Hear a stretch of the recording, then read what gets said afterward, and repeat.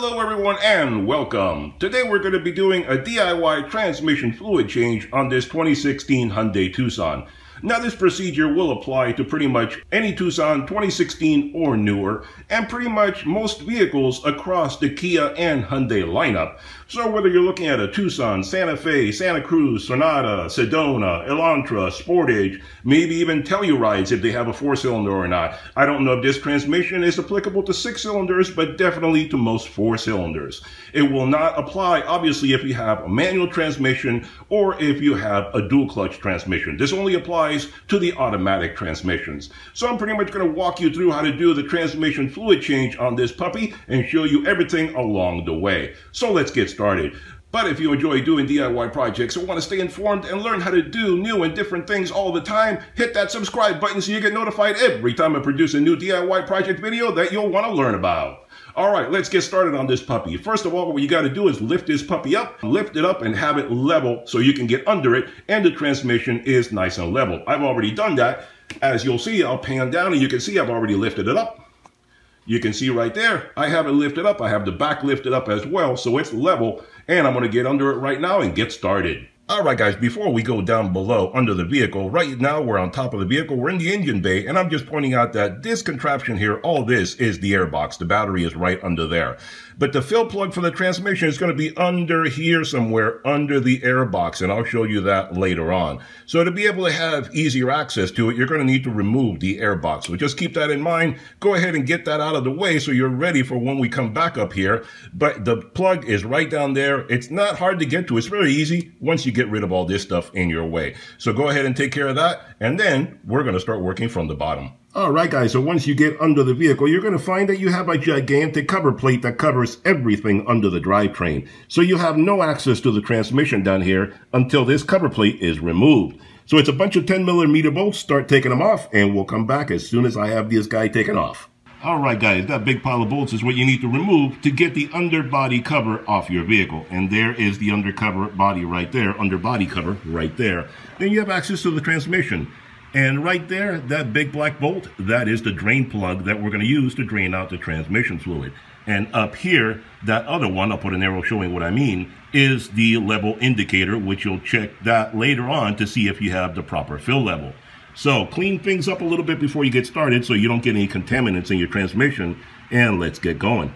All right, guys, so there is a drain plug for the transmission right there. And to open that puppy up, you're going to need a 24 millimeter socket. It doesn't matter if you have a regular one or a deep one. I just happen to have it in a deep size. So there you go. Let's crack this puppy open and see where we go from here. There you go. Have your drain pan under there so you don't make a mess, and let's get going and there is no dipstick up above. You can open up the uh, drain plug up above to make it drain better before you start doing this.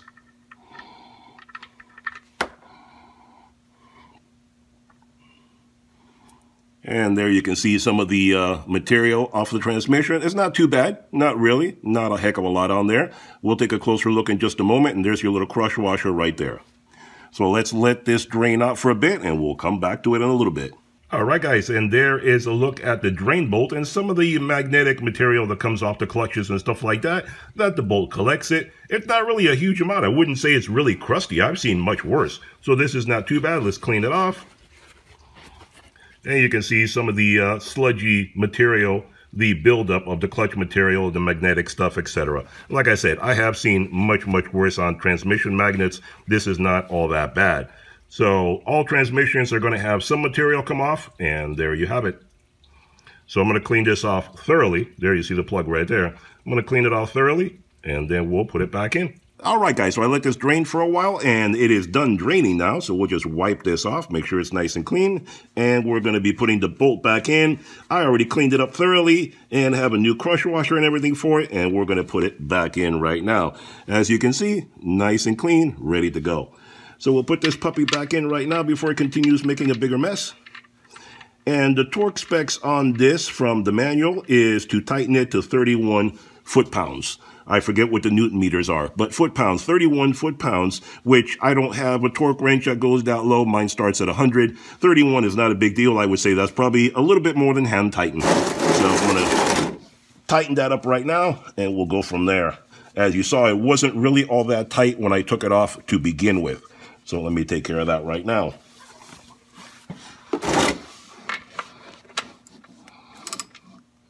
And click, there we go. So that's tight enough right there.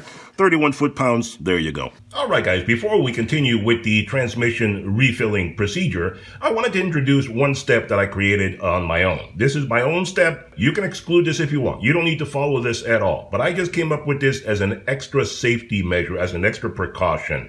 This is a clear container here that I cleaned out a while back. It's totally clean, rinsed out, dry, no contaminants in it whatsoever.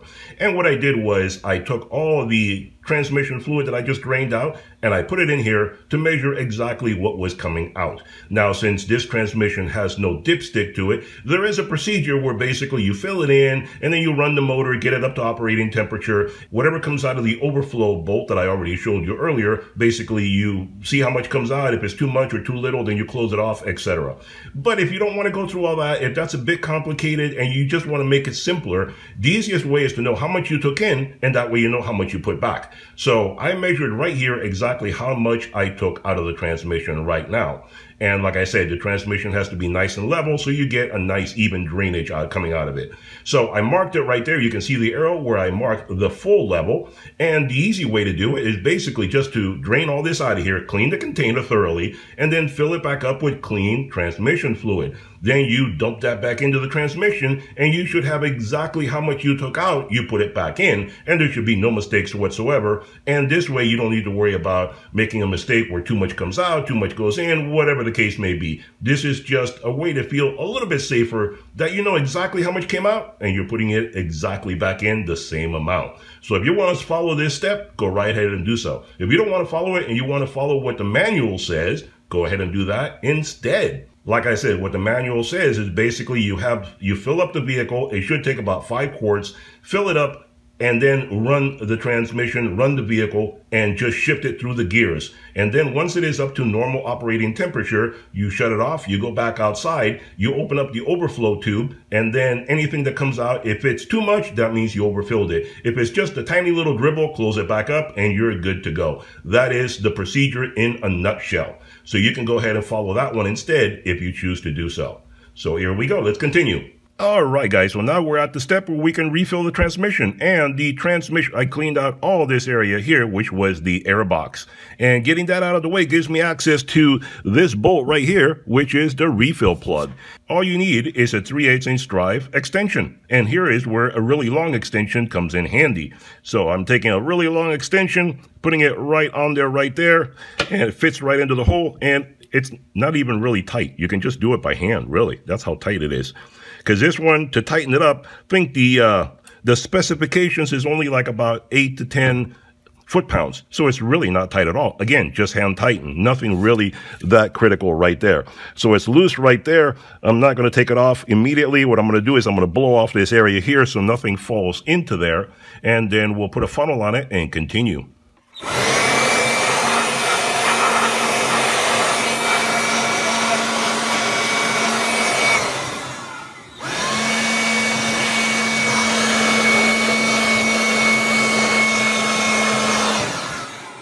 All right, guys, so here is the plug that comes out of that hole. It is just a plastic plug. Be careful with it. That's where you insert the extension to get it out, the 3 8 inch drive. And it is plastic. Be careful with it. Just has a little O-ring on it. Don't go crazy on this thing.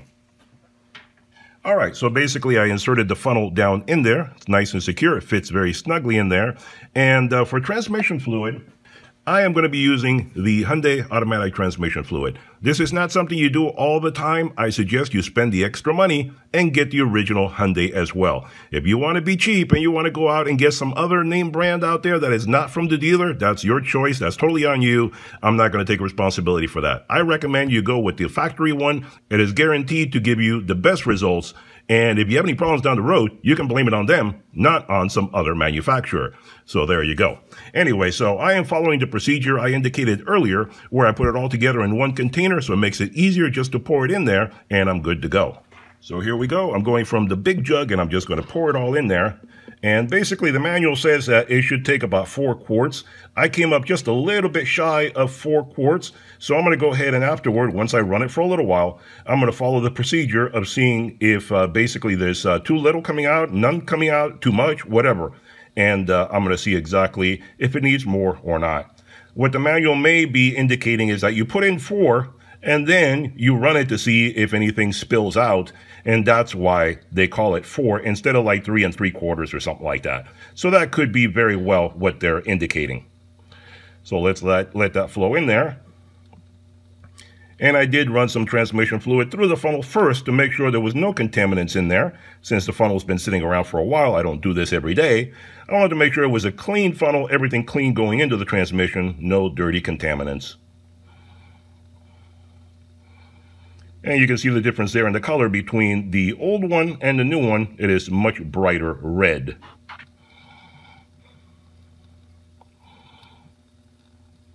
And I did put the bolt down below. You saw me do it, so it is closed. It's not spilling out. Make sure you do that. You definitely don't want to start filling it until you put the bolt back and make sure you're not dripping all this stuff all over the floor.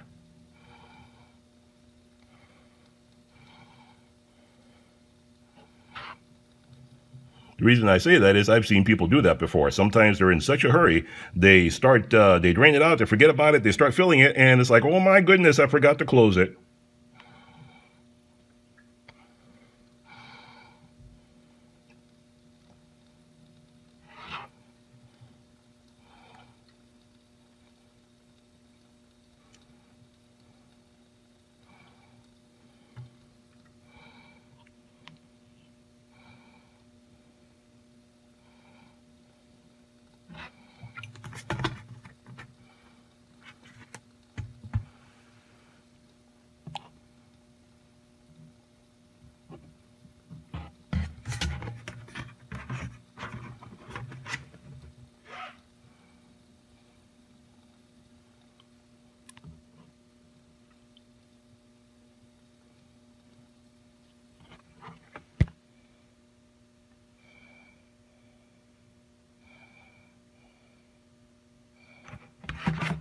And there you go. That is the same exact amount that I took out. I just put back in. So I'm going to go ahead and run it for a little bit and test it and see if anything spills out the other end and continue doing that. All right, so I put the plug back in down there, and all you do is tighten it up now. And like I said, it is pretty much hand tightened. Like I said, 8 to 10 newton meters, something like that. Not really a lot. It wasn't all that tight when I took it off. So I would say don't get carried away. There you go. Click. We're done.